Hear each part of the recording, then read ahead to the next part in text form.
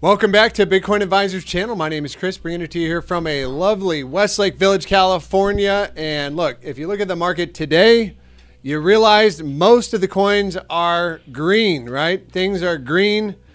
Yet some of the altcoins have not made new all time highs. So, in this part of the cycle, you need to be prepared for a shakeout or a 30% drawdown. So if you're using leverage out there, uh, you know, you want to be prepared so you don't lose your stack. I think it's a good time to look at the Wall Street cheat sheet to kind of identify where we are at in this market. You got disbelief, hope, optimism, belief, thrill, and euphoria. And I do believe we're kind of in this optimism stage, which that's part of the market cycle where if you're a positive person, right? If you um, are forward thinking, you're thinking, hey, it's probably a good time to put more risk on. Uh, people that want to take more risks are transitioning out of Bitcoin into altcoins. So we have more people, uh, I think, looking, beginning to look at the altcoins. The meme coins are really starting to run. And uh, so we'll take a look at some of the altcoins today and just check in on Bitcoin to see uh, where a potential target, and you can see this 4236 fib is coming in. 4236 fib is coming in at uh, 83,142. Um, so something to note there. You got the 3618 fib coming in at 76,000. And um, in general, actually, what you know, what I'm kind of looking for is a little throwback. Um, at least, you know, I'd like to see it come back down to about 61,000, 60,000 bucks. I do believe, based on Hyblock Capital, uh, that there is a bit of liquidity hanging out there. I think for them to slice it like a butter knife uh, to the upside right now is um, I don't know. I, it just doesn't feel right to me. It doesn't feel right. It won't give enough people the opportunity to get in. Plus, you can see people are net long right here. And so that means the people that are net long are going to get liquidated down here, right? All this red here, this is all um, people that are long that will get liquidated, liquidated if they're on leverage. And you got like 100x you got 100 Xers, 50 Xers, they're all down there. And so there's some liquidity down there that I think wants to get tested at least one time. And just looking at this on a shorter term time frame, wow, huge bubbles up here. Uh, not, not really. Uh, so for I was going over a bit of analysis with a client on Saturday saying, hey, we're probably going to throw it up to the upside one more time and then get a little bit of a pullback. And it looks like that's what we're doing right now. Let's just visit the shorter term time frames. So we did bust a new all time high today. Congratulations, Mr. Bitcoin. But um, I think the route of the most pain is as they're drawing in more and more, the FOMO is kicking in more. Um, they need liquidity to drive the price higher and for it to just go straight up to 78,000 which is a potential target uh, looking at this range right here. So that is yeah more like 76,000 kind of the short-term target. I still believe that um, we could remain bullish if Bitcoin does do something like this and that is even tagging this 1618 fib at uh, 76,000. Use a round number there. Close enough is close enough, but you would expect continuation on the shorter term time frames above this uh, green 55 as long as we remain there if you're trading the 15 minute. But one more throw to the upside, and then you can stay bullish as long as you're above this 382. Fib coming in at 63,000 bucks. As soon as we start to lose that on a four hour or more, um, you know, real threat to some potential downside action. Something to keep an eye on as well is uh, TLT, which shout out to Mr. Kyle Dupes on that one. Um, brought up a good point. Tomorrow is CP CPI day. The CP CPIs are going to, you, you know, I'm talking about CPI. The inflation data will come out tomorrow, and if it comes in hotter than expected, um, you know, Mr. Prow, Mr. Prowl, Mr. Powell might say, you know what, we're not going to lower rates, despite everything, uh, you know. And that's, I, I mean, what I would suspect. Why would they lower rates? The stock market is making new all-time highs. This thing's absolutely out of control. Down $99 today, though. Uh, interesting. Nasdaq down 99 bucks, and oh yeah, uh, Nvidia, right? So this is the big one to keep an eye on as well. Which Nvidia is propping up the entire market, you know, and threw down a massive bearish engulfing candle here. So could it go for the gap fill down at about 740? You also have this level at about 834.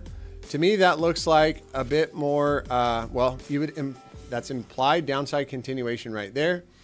Where would it correct to on a fib retracement level? Let's just see. There's the 382 at 783, the 0.5 at 726. But as long as we're above the 618 here at 665, then generally the market's looking bullish. Um, and let's see if that 618 lines up with any of our moving averages and pretty close to that green 55 exponential. So if NVIDIA starts to tank, well, you know, uh, that's probably not going to do well for some of the AI tokens.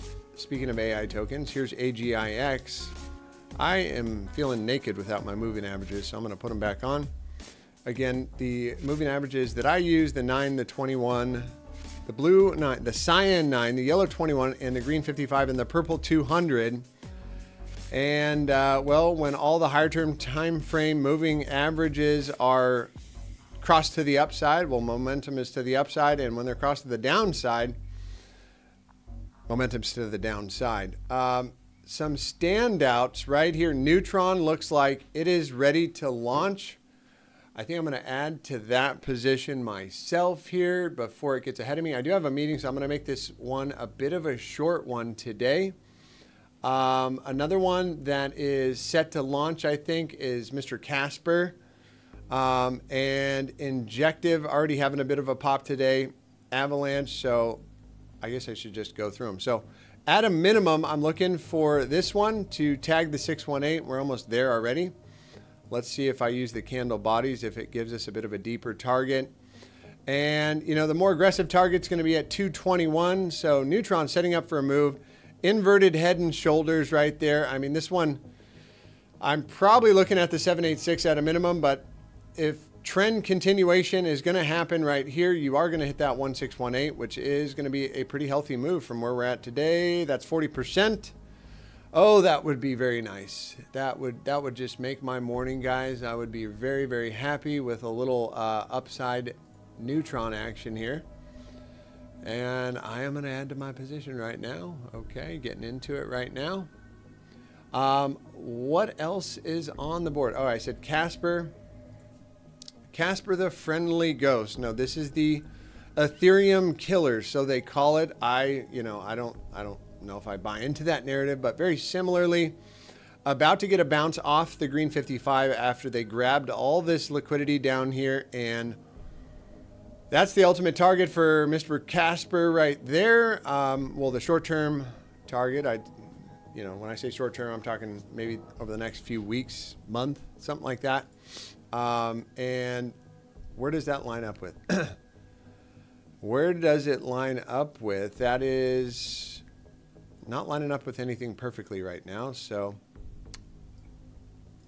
Let's see if we can crunch this down a little bit more. And then I got to get to my meeting here coming up here. And I got about two more minutes. So make sure you drop a like or a comment in, in the questions below. We're thinking about starting a new group, meeting in LA here called Bitcoiners for Trump, where we're going to discuss uh, everything Bitcoin, all the altcoins, and um, how we can be a part of a fair election this this time go around. I don't know how popular this is going to be in California, but I was just telling my uh, my cousin here, look, like who cares? Let's just stand up for what's right, you know. And I'm not saying, you know, I, I, as long as it's not Joe Biden, please no more Joe, Joe Biden, and um, I'll leave it at that. Um, but comment below if you'd be interested in joining the group Um, I'd be happy to give you the details. I believe we are going to meet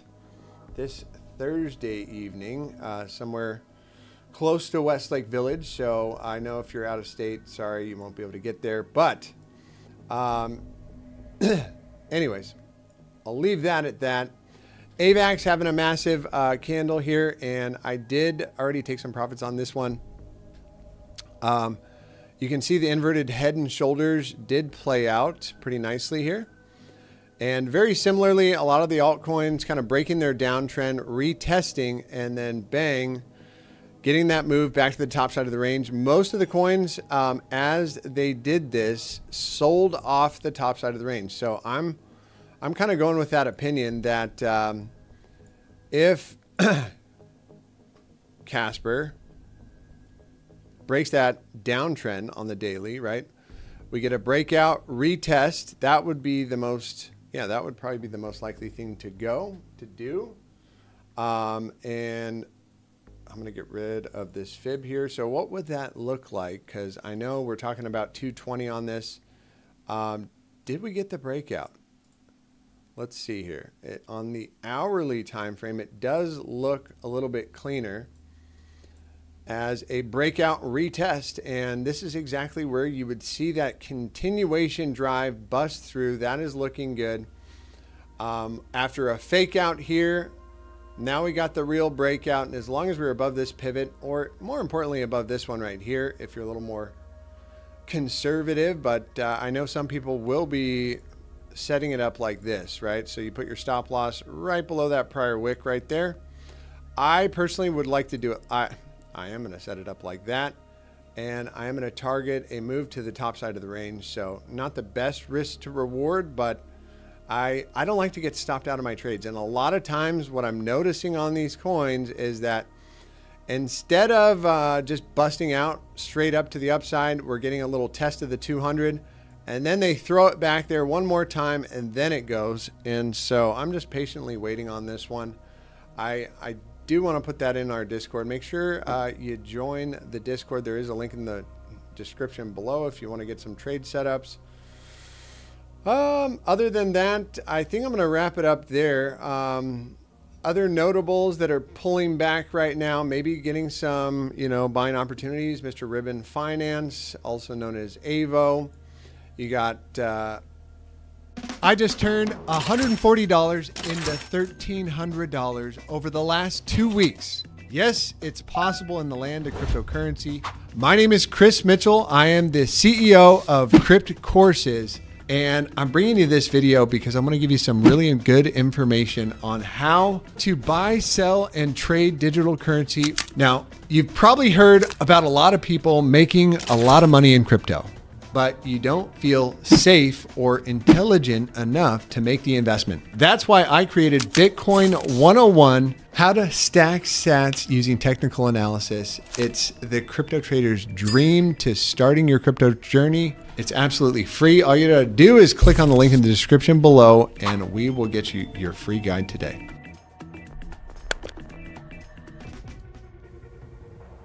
Ordi, I, I'm, I'm, that's not on the list, but I do want to check it out here because this is a higher beta, uh, higher beta Bitcoin play, Ordinals, STX, another one.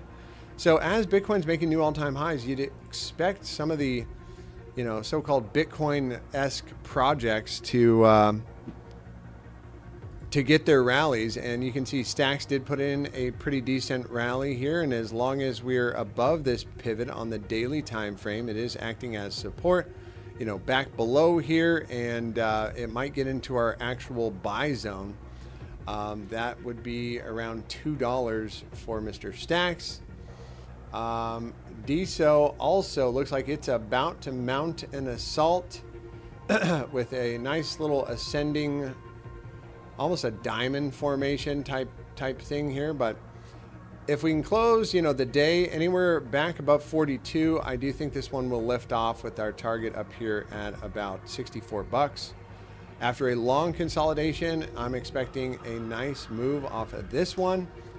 And not to pat myself on the back here, but um, well, I guess I won't because the target is not in there, but the target was hit on this one for our trade setup. It took a while to get there, but uh, you can see we did tag the 618 over the weekend, or I think it was on, yeah, it was yesterday. So that's looking nice, looking bullish, and uh, getting that first pullback up to the 382. So now, as long as we're above this level for big time, you know, you're expecting a run at the highs at 82 cents. All right, that's it for today, guys. I hope you enjoyed it. I will see you in the next one. Have a blessed and highly favored rest of your day. Take care.